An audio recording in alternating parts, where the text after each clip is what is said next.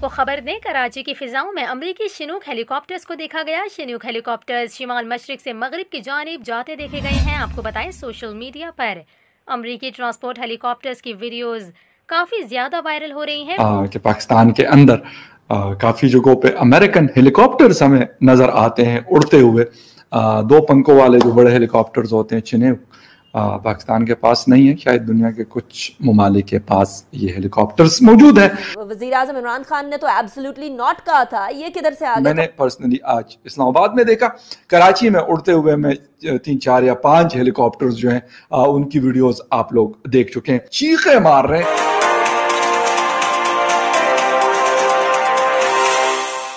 दोस्तों आप इस वीडियो में देख पाओगे पाकिस्तान की कैपिटल इस्लामाबाद में यूएस के बड़े बड़े चार से पाँच चिनूर हेलीकॉप्टर पाए गए दोस्तों। जिस वजह से पाकिस्तानियों की पूरी फट गई है दोस्तों, क्योंकि पाकिस्तानियों को लग रहा है कहीं यूएस पाकिस्तान के ऊपर हमला ना कर दे। और साथ ही साथ पाकिस्तान के ही कराची में यूएस के बड़े बड़े आर्मी के भी हेलीकॉप्टर्स देखे जा चुके हैं दोस्तों। तो दोस्तों, आप इस न्यूज़ को पूरा देखने के लिए वीडियो को लास्ट तक ज़रूर देखिएगा।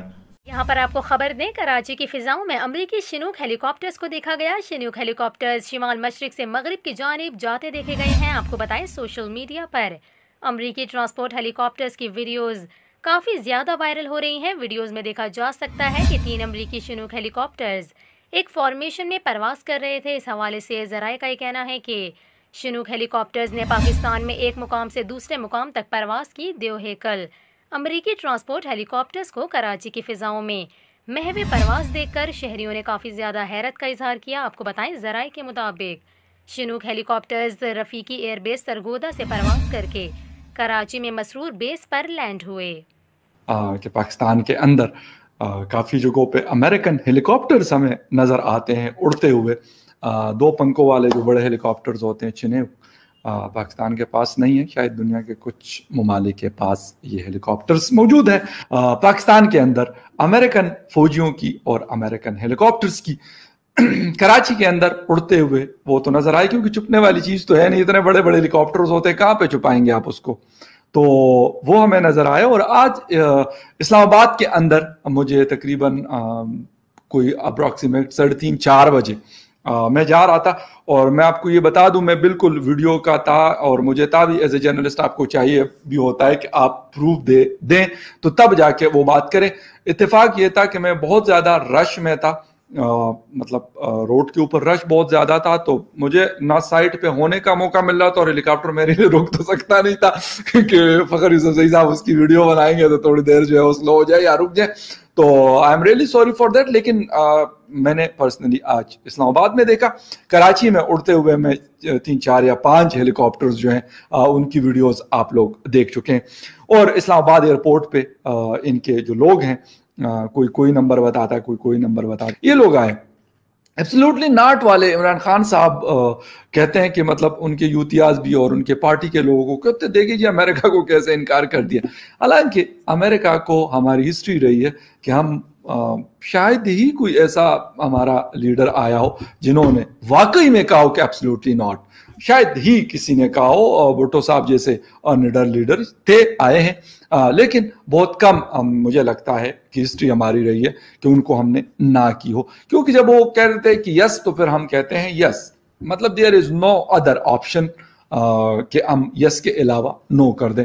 तो ये सारी चीज़ें तो हमारे खान साहब और उसकी यूतिया ग्रुप ऑफ़ कंपनीज़ ये बड़े दावे कर रहे थे कि यार हम तो ये नहीं देंगे, हम वो नहीं देंगे, हम फला नहीं देंगे। कहते हैं वो तो किसी को ये भी ट्रेंड चला था कि यार वो तो किसी को एक बिस्किट नहीं देता तो अड्डा क्या दे देगा? बेटा बिस्किट नहीं मांग रहे थे वो जो चीज़ मांग रहे थे ना वो ले के दे देते हैं। बिस्किट्स उनके पास अपने बहुत सारे अफ़गानिस्तान में भी पत्नी कार्टन के कार्टन वो लोग छोड़ के आए हुए हैं। पानी की बहुत सारी बोटल्स हैं और और बहुत सारे बहुत सारे जहाज़ छोड़ के आ गए यार तो मतलब बिस्किट की क्या आ, आ, वो है हैसियत है। तो आ, ये वाली चीज़ जो हमें बताई जा रही थी कि नहीं ऐसा नहीं है। और ये वाली कहानी कि यार वो लोग यहाँ पे आके रोकेंगे। मुझे कोई एक बात बता दे। दोहा। कतर सबसे बड़ा हेडक्वार्टर है। इस रीजन का हेडक्वार्टर जो है, वो है कतर में नाटो एंड अमेरिकन फोर्सेस के लिए। हिंदुस्तान के साथ भी उनके बड़े करीबी ताल्लुकात हैं। वो वहाँ पे भी जा सकते हैं। अगर कोई बहुत ही आखिर आई हुई थी, अव्वल तो अगर उन्होंने वहाँ से विड्रॉ किया अफ़गानिस्तान से तो बजाय इस तरफ़ आने के, क्योंकि अफ़गानिस्तान के हम ईस्ट वाली साइड पे रहते हैं, हमारा मुल्क है, और दोहा कतर जो है, वो दूसरे तकरीबन साउथ उसकी तरफ़ बनता है। साउथ ईस्ट की तरफ़ साउथ वेस्ट की तरफ़ बनता है तो शायद वो ज़्यादा इजी था वहाँ पे जाना बजाय पाकिस्तान आने का। तो ठहरने का तो ये वाली कहानी जो हमें सुनाई जा रही होती है कि यार पता नहीं वो कोई 20-25 दिनों के मेहमान है मुझे ये नहीं समझ आ रही थी कि यार वो जहाज़ उनका उड़ा। तो उनको क्या मतलब फ़र्क पड़ता है कि वो जाके इस्लामाबाद एयरपोर्ट पे उतरे या फिर कराची एयरपोर्ट पे उतरे? क्यों? What's the reason behind that लेकिन आ, हमारे सलूटी नाट वाले इमरान खान साहब जो है नए पाकिस्तान के मेहमान जो डिस्ट्रॉय कर रहे हैं पूरे पाकिस्तान पुरा, पूरे पुराने पाकिस्तान को उन्होंने पूरा डिसमेल्ट कर दिया है। लोगों को लिटा के रखा हुआ है रुला के रखा अब बल्कि रुला के क्या चीखे मार रहे हैं लोग? उनकी पॉलिसीज़ की वजह से। एक सोशल मीडिया पे पिक्चर बड़ी गर्दिश कर रही थी जिसके अंदर आ, कुछ फॉरेन फौजी हैं और ये कहा जा रहा था कि वज़ीर अजम इमरान खान ने तो एब्सोल्युटली नॉट कहा था। ये किधर से आ गया? कुल ten thousand three hundred and two यानी दस हज़ार तीन सौ दो ट्रांजिट वीजाज पर लोग आए थे। से कितने अरसे हमने कितनी ही मदद क्यों ना फराहम की हो इंटरनेशनल कम्युनिटी को अमरीका को बिलखसूस। हमें हमेशा डू मोर सुनना पड़ा है अब इस तमाम के बाद क्या डू मोर की कोई गुंजाइश बचती है Uh, मैं आपके सवाल के जवाब देने से पहले मैं आपने अपने अपने में कहा है कि जी अफ़गानिस्तान की सिचुएशन बड़ी फ्लूड है हम्म। मैं फील करता हूँ कि कल रात के बाद अफ़गानिस्तान की सिचुएशन फ्लूड नहीं रही लेकिन अच्छा। उसको फ्लूड रखने की कोशिशें हो रही हैं। मल्टीपल साइड से वेस्ट की तरफ़ से खासकर कोशिश जो की जा रही है एंड ऑफकोर्स एक और जो ताकत है जिसका आपने ज़िक्र किया इंडिया वो भी इस किस्म के मामला इस किस्म की यू you नो know, उसकी भी इंटेंशन सिमिलर हैं।